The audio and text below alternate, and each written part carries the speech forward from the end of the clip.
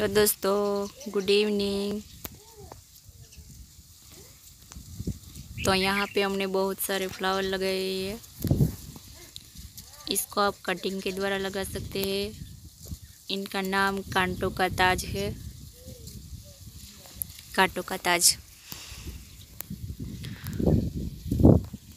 और इसमें बहुत सारे फ्लावर आए हैं।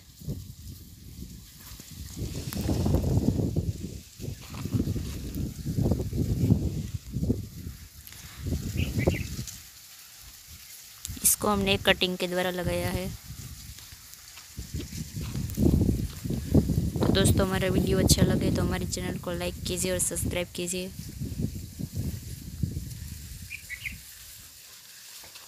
जय हिंद, जय भारत।